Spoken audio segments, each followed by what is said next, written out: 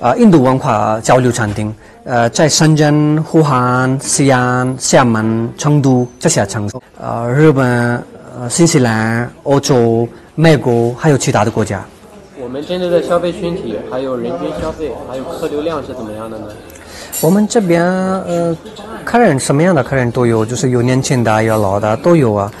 啊，然后平均消费就是八十多一百块钱一位，啊，平常我们那里是有一百多一百二十个人，但是节假日的时候就是人比较多，两百多三百个人。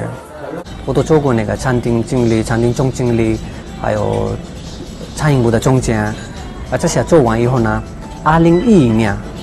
啊，我自己成立了一个公司，啊，这是中国的第一个印度文化交流交交流餐厅，啊，在经营期间呢，也有很多名人来访过，比如印度驻华大使西安市长，还有乌丹的 Prime Minister，平时我也会帮助很多人。啊，一些学校，呃，还有一些老人等等。啊，看通行业，我们是第一个，就是我们是中国的第一个中英文化交流餐厅。第二个呢，我们这边有每天表演，就是 Bollywood 舞蹈。啊，还有呢，我们那个外面啊，印度飞宾，还有印度瑜伽，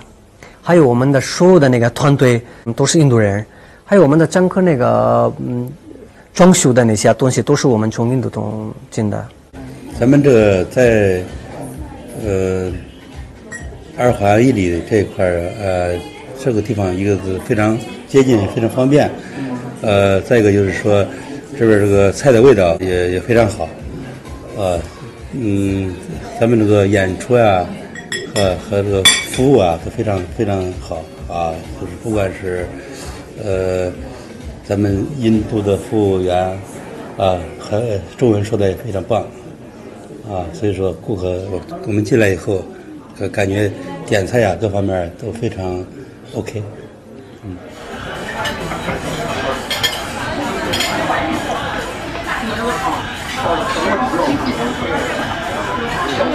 他讲的，他跑的跑的，